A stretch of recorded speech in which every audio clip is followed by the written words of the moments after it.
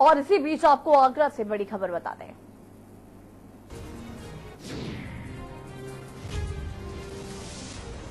बड़ी खबर आपको आगरा से बता दें, जहाँ पर कोरोना मरीजों की संख्या में लगातार इजाफा हो रहा है।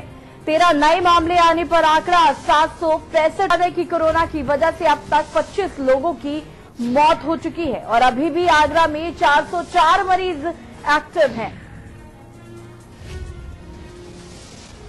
बड़ी खबर आपको आगरा से बता दें, जहाँ पर लगातार कोरोना मरीजों की संख्या में इजाफा हो रहा है।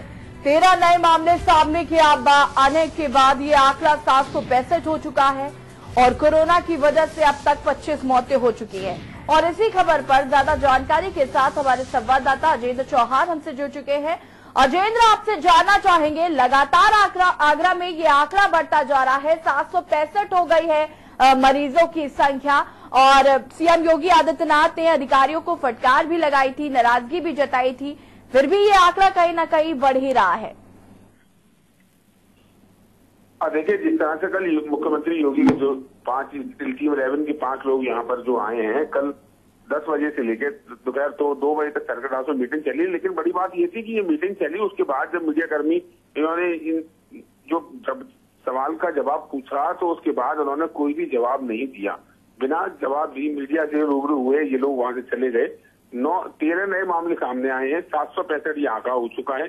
लेकिन ये आंकड़ा रुकने का नाम नहीं ले रहा है। प्रमुख सचिव आलोक कुमार पहले भी आगरा आए थे। दोबारा से वो आगरा आए हैं। नोडल अधिकारी पहले बनाया गया था। अब टीम यहाँ पर आई है कैंप जिस तरह से कहने की बात कही जा रही है कि दो आई एक आईपीएस है जो कि कैंप करेंगे। लेकिन जो आगरा के हालात हैं कम्युनिटी ट्रांसमिशन का जो काम हो चुका है लगातार बाहरी अन्य लोगों में ये कोरोना का संक्रमण मिल रहा है और एक बड़ी चुनौती है कि किस तरह से इस संक्रमण को रोका जाएगा। तो ये बड़ी एक सवाल है कि क्या योगी के दूत जो यहाँ पर पाँच सदस्यीय टीम आई है ये इस कोरोना के संक्रमण को रोकने में सफल होंगे या नहीं?